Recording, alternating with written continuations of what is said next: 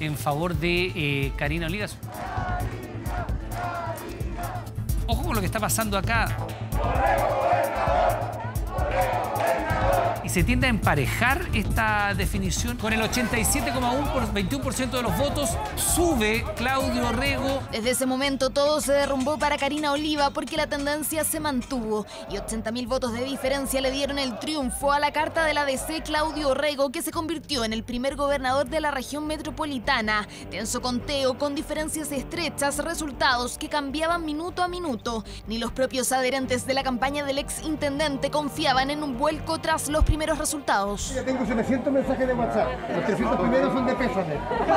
En el otro lado, en el comando de Karina Oliva, las primeras celebraciones fueron silenciándose. Al principio primó la confianza, los minutos pasaron, la incertidumbre se apoderó de los rostros que llegaron a escuchar un resultado diferente. Que el ánimo es de nerviosismo, en este momento lo único que te puedo decir es que no sabemos quién va a ganar.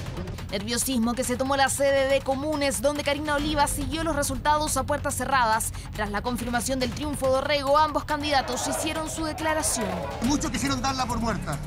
Y creo que hoy día está viva. Unidad Constituyente está viva. ¿Cómo consolidar el triunfo de Orrego en las futuras elecciones presidenciales? La pregunta que se desarrolla al interior de la unidad constituyente. Y por ello los ojos están puestos sobre estas dos figuras del conglomerado. Paula Narváez, ya proclamada candidata presidencial del PS, quien le pidió a la DC y presidenta del Senado, Yasna Proboste, definir si quiere competir por la presidencia de la República.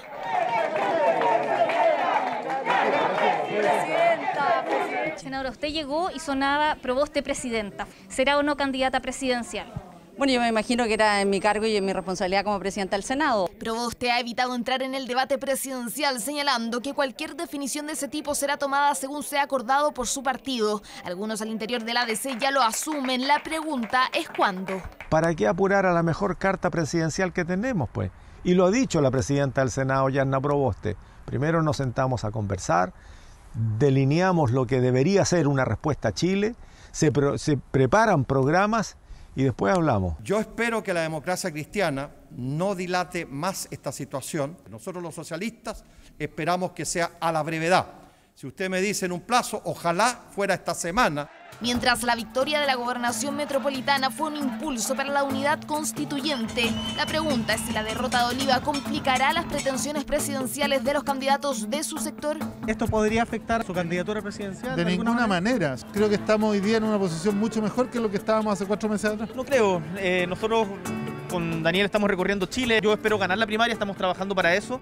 Dos candidatos que se enfrentarán el próximo 18 de julio en las primarias presidenciales. Mientras en ese sector ya hay definiciones, en la unidad constituyente ven como opción enfrentar eventualmente a Narváez y Proboste en una primaria convencional, aunque no descartan otro mecanismo. ¿Es Yana Proboste la candidata presidencial de la DC? Bueno, es el momento de Claudio. No, yo, En la última encuesta CADEM de intención de voto, Proboste por primera vez encabezó el estudio con 14 puntos junto a Joaquín Lavín. En el décimo primer lugar se encuentra Narváez con dos puntos de apoyo. No estamos ansiosos, vamos a tomarnos el tiempo en que podamos elegir a los mejores y a las mejores para la presidencia de la República. Este lunes la democracia cristiana señaló que en un próximo Consejo Nacional que aún no tiene fecha se definirá la opción de Yasna Proboste como eventual abanderada del partido. Las conversaciones entre la ADC y el resto de la unidad constituyente siguen desarrollándose. Bajará su candidatura Narváez. Es una de las posibilidades que en privado reconocen miembros de unidad constituyente, una opción por ahora descartada por Paula Narváez.